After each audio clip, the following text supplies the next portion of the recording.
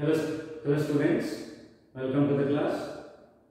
In the last class, I taught you the sim- uh, how to make sentences in simple past tense, right? And in this class, I am going to teach you all about past perfect tense. I mean the form of past perfect tense and the uh, and how do how do we use the past perfect tense and where do we use it and the time indicators that we use in past perfect tense we are going to learn all these points. Right. So here what is first what is the form of past perfect tense? Subject had plus third form of a plus third form of a verb plus object. Third form of verb means here past participle. What is that? Past participle. Past participle. Now let us see here. Right. The past perfect tense is formed by using had followed by a verb followed by a verb in its past participle. Past participle means what? For example, if I write do, what is the third form of do? Done. Speak. What is the third form of speak? Spoken. Right. Eat. What is the third form of eat? Eaten. Right. Spoken. Done. That means what here? Had done, had spoken, had eaten. Had eaten. Had eaten. Had done, had spoken, had eaten. That means what? The past perfect tense is formed by using had followed by a verb in its past participle like had done, had spoken, had eaten. So these for these formings, right? These uh, past par- par- participle form formation, they are irregular endings. What are these? Irregular, irregular endings. For example, if I say that work, what is the third form of verb? Work. If I say help, what is the third form? Helped. Right. If I say that reach, so what is the third form of reach?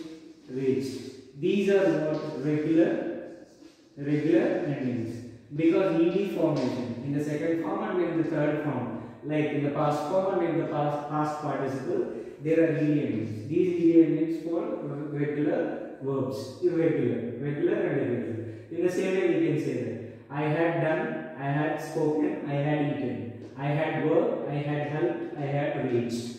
Understood? So this way we can write. That means what here? The third form. Did you understand the form? The form, the past perfect tense is formed by using had followed by a verb in its past participle form. Like had done, had spoken, had eaten, had worked, had helped, had reached. This is the form.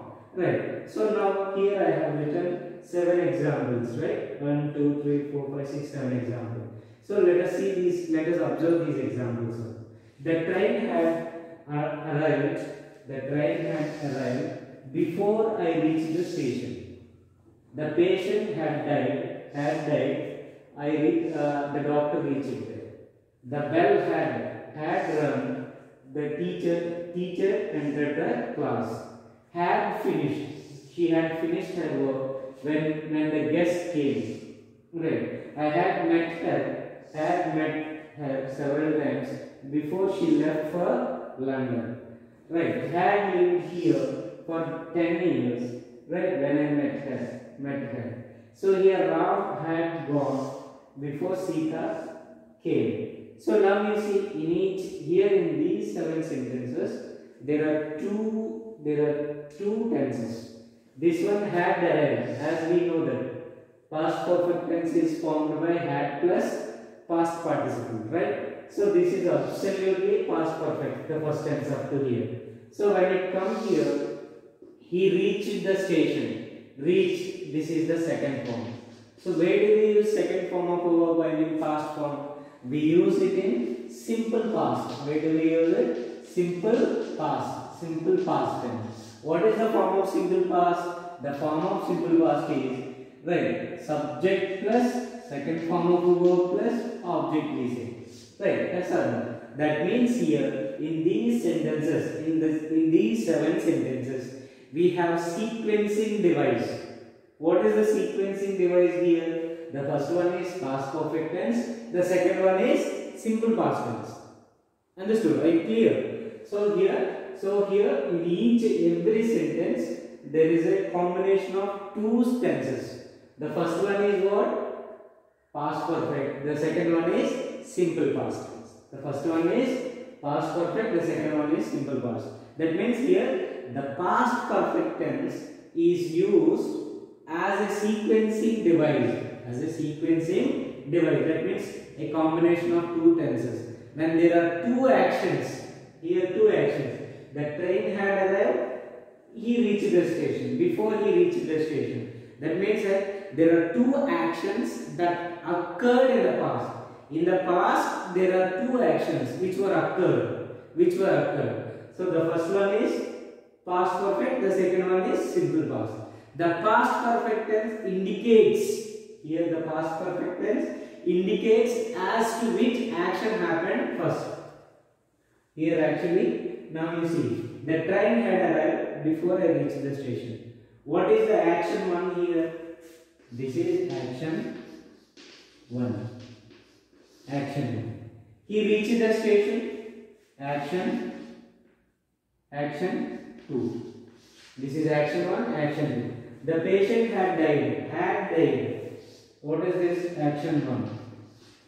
Here doctor reached. Action 2. Understand? Had run. This is action 1.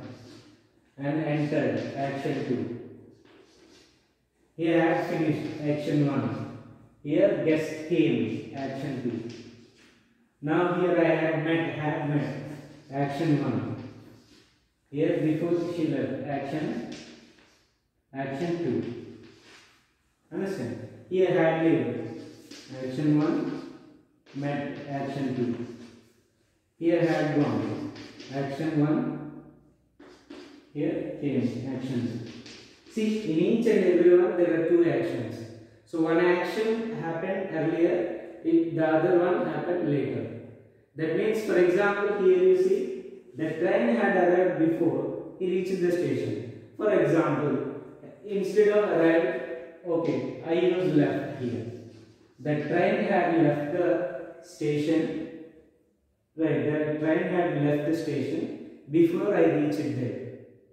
Understand? So now you see, now let us see the example. Here, the train had left the station to Delhi before I reached the station. Okay, the train had left. The train had already left the station to Delhi before I reached the station. Now here, let us see this in a timeline. Let us see. For example, here, what is the first action? Had left. The train had left the station is the action one. That means first happened action. Right. Before I reach the station. Before I reach the station, this is action two, which was happened later. The train had left already. Right. For example, here you see in a time Right. So here it's 8 a.m. Think of it 8 a.m. Here the train, the train to Delhi, Delhi, the train to Delhi left. The train to Delhi, the train to Delhi left. Here, think of this 9 a.m. 9 a.m. Think of this 9 a.m. So I reached the station or I arrived the I arrived the I arrived at the station. I arrived. Arrived or reached at the station. Now its time is 11 a.m. So now here, when did the train left? When did the train leave? The train leave at 8 a.m. When had the train left here? The train had left 8 a.m. When did, when did you reach the station? You reached the station, you arrived at the station at 9 a.m. So now what is the time? 10 a.m. That means what? Here, so here the train had left the station. Already the train had left. This action which was happened happened first. First earlier, first happened action. The second action is what? I arrived uh, at the station. Did you catch the train? No, you missed it because you are late to station. Understand? So in this sequence we use past perfect tense. Now you see here, the patient had died before the doctor reached there. That means actually the patient had died at 8 a.m. The doctor reached there at 9 a.m. Which was happened first? The patient had died already. This is action 1, earlier action. Before the doctor reached there. Before the doctor reached. So after he reached, he reached home at 9 a.m. Before he died. The bell had rung before the teacher entered the class. So the first action is what? The bell had already rung. Later the teacher entered the class. This is the first action. This is action 2. Understand? Action 2. That means actually what here the past perfect is used as a sequencing device when there are two actions that occurred in the past. The past perfect indicates as to which action happened first. The past perfect which is used to indicate first happened action. Understood? So this is what the train had left the station to Delhi before I reached the station. Right now you see here she had finished her work when the guest came. So she had finished her work. Already she had finished her work when the guest came. Now she was free. The guest came. So already she finished her work at 8 a.m. Later guest came at 9 a.m. Think of it. I had met her several times before she left for London. So here, before what what did what did he do? So he had met her many times before she left for uh, London. I had lived here for 10 years when I met her. Rama had gone before Sita came. Rama had gone at 8 a.m. Sita came here at 9 a.m. This is action 1 and this is action 2. That means what is the use of uh, past perfect tense? We use past perfect tense to indicate the combination of two tenses like past perfect and simple past. Sequencing device. We can call it sequencing device. When there are two actions that occurred in the past. Right. Here actually action 1 is the train had arrived before he reached the station. Right. So the patient had died and he had lived, she had lived here for 10 years when I met her. Ram had gone before Sita came. Right. How? These are these are the examples of past perfect tense. And you can write some examples also. Right. Now here, what are the time indicators in each before, before? So here when we use before. There are some time indicators, we use them in uh, past perfect tense before. The train had left before I reached the station. The train had already left 8 am. He reached the station at 9 am. Now it's 10 am. This is first action, second action. This is the first action, this is the second action, right? So this is what we call all about past perfect tense. What is the form? Subject had plus third form of verb plus object. So here, so we use two tenses. What are the two tenses in past? Along with the past perfect tense, what is the other tense that we use? We use simple past. Simple past is second form subject plus second form of verb plus object.